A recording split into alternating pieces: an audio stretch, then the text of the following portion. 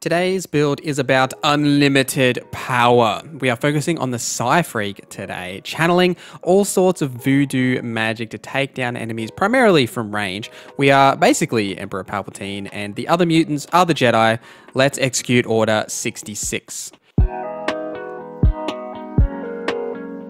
This is a slightly longer build. There's a lot to go through, so strap in. I've got chapters, all that good stuff down in the description down below. If you enjoy this video, be sure to hit that big red subscribe button. Let's go.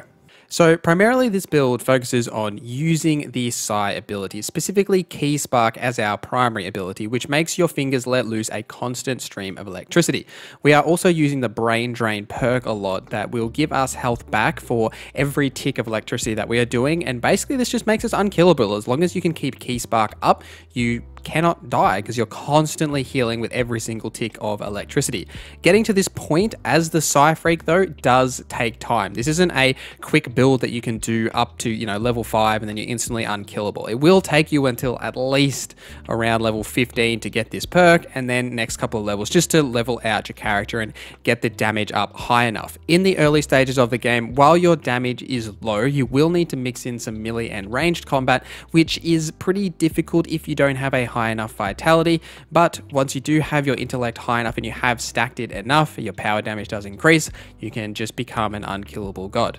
Now, let's break down how you get to this point. We're going to start with the breed and the class. Our breed is going to be the FIP. This is the class that has the highest starting intelligence, which is basically what this build really needs. It gives us our ki energy, it gives us our ki energy regen, as well as our power damage for the Psi abilities. This is really the best option for breed. You could go the Rex, they are pretty cute. If you like the cuteness of the Rex, maybe go them. They do have a decent intelligence, but the class we are picking is the Psi Freak. You have to pick the Psi Freak. You do get Spark Ball and the Mega Mind abilities to start off with. Spark Ball is the key here. Spark Ball will allow you to use some of these Psi abilities in the early stages of the game and actually deal a decent amount of damage as you do just get this ability right off the bat. Until you do have enough damage, you will only use this as more of a damage dealer and then finish off with a melee or a ranged ability. It's just to start off combat, get you used to using Psi abilities, then eventually this will become your primary damage dealer. Your attributes for this build is really intellect. That's all you need to focus on. In the early stages of the game, especially if you're playing on the new extreme difficulty, you may want to put some points into vitality just so you feel a little bit safer, you have a little bit more health and armor.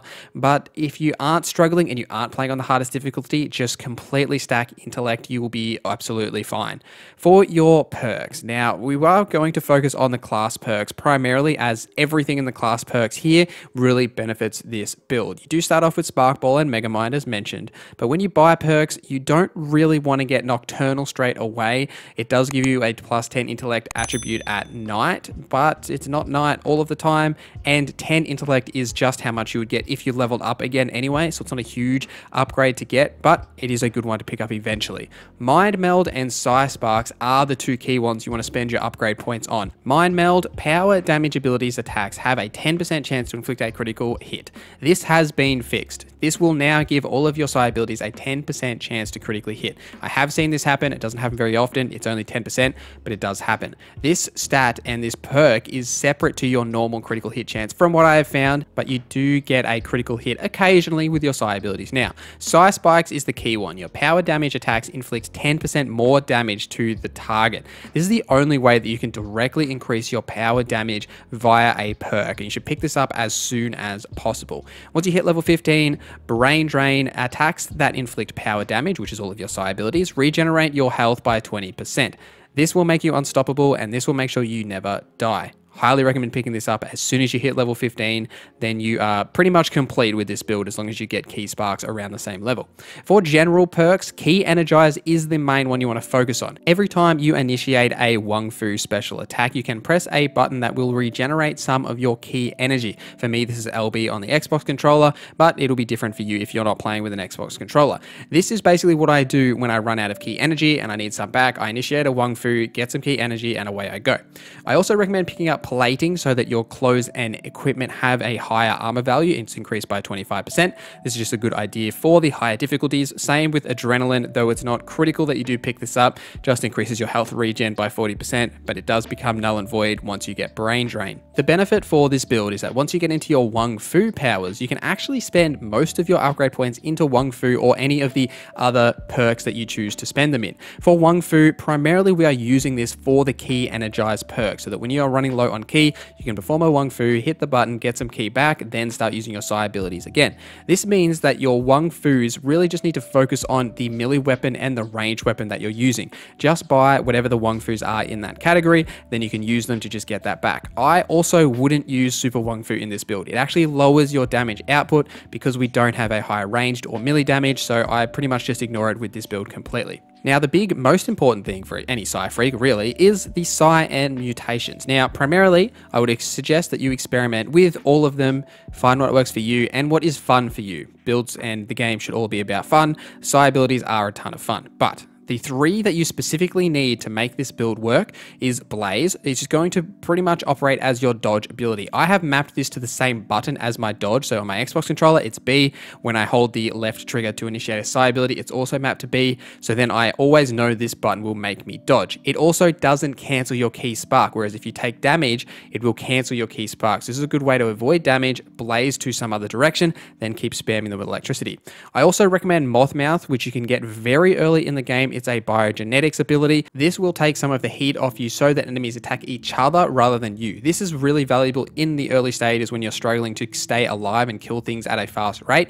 This will just remove some of that aspects of damage that's coming towards you. And obviously Ki Spark is the primary damage dealer that we're going to unlock. Once you have got this, this will just take over wherever Spark Ball is in your rotation of abilities. Before this, use Spark Ball. Once you've got Ki Spark, it's just Ki Spark completely. You don't need Spark Ball anymore. I have played around with most of the other abilities on my multiple playthroughs, and we'll cover some of them here, but really I highly suggest to just experiment and find what's fun for you. Sky Spark is an interesting one because it does deal a lot of damage, but it requires a lot of ki energy that is probably better used for Ki Spark or some of your other primary abilities. I find it's okay to use, but it's maybe more situational than it needs to be.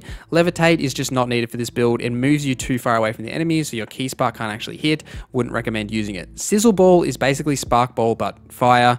Really up to you if you want to use it. Freeze doesn't deal a lot of damage. It's a good AoE though, and it's better for a melee build if you are focusing on a melee build or a hybrid between Psi and melee.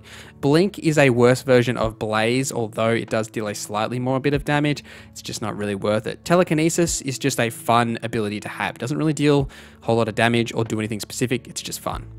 In your biogenetics, these are much more situational, but the key one you want to pick up is Rad Wisps. I find that using Rad Wisps with ki Spark is just kind of broken because you can channel both of these abilities at the same time. This will just increase your damage output by a huge amount. Ki Sparks will hit anything in close range to you, Rad Wisps will hit things in a distance, and you'll just basically destroy the entire battlefield. The other bio powers other than Mothmouth and Rad Wisps, I don't really find valuable in any specific way. Mucus Bubble is a good movement ability. The rest though, I just don't think they're really valuable to use very often, although if they're fun to you, go for it. Weapons and armor. For your armor, ki energy primarily is what you want to focus on, with energy regen being the secondary focus. If the armor value is low, don't worry about it. Just put mods on the gear that increases its armor value. Primarily, you want to have a high enough ki energy so that you can keep spamming ki spark. Doesn't matter if you're taking a higher amount of damage because you're just going to regen all of your health anyway. For weapons, it's literally up to you. I prefer the pre-Mergle sword for this build as it does a really high amount of damage and it doesn't have a strength cost. I have zero strength with this build, but I can use this weapon and still deal a decent amount of damage when I do want to use my Wung Fu abilities. If you want to know where to find this weapon, check out my 10 secrets of Biomutant video, which has a full guide on how to find this weapon.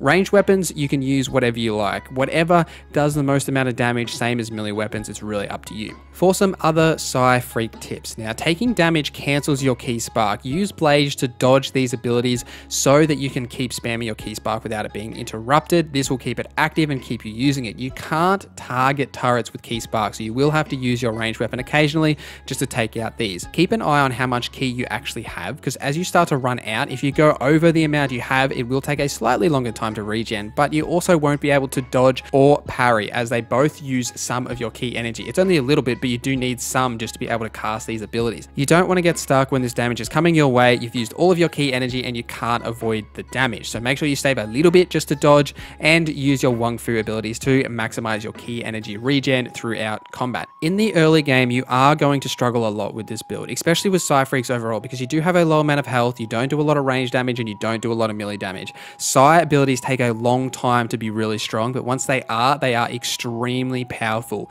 If you are playing a Psi-Freak, I recommend to stick with it. You will eventually become a god. You've just got to get past that initial grind at the start of the game. Use the other abilities at your disposal, your melee, your ranged. Make sure you put a couple of points into vitality. Find what feels good, and you will make it to the big time. If you're looking for more Biomutant content, check out my 10 secrets for Biomutant video that goes through weapons and mounts that you can find throughout the game, as well as some other things that you can also find. Please follow me on Twitter, Instagram, and on Twitch, where you can find me streaming two days a week, Tuesdays and Thursdays, Australian night times. Hope to see you guys there in the next stream. Thank you for watching this video. My name is NorZZa, and I hope you have a great day.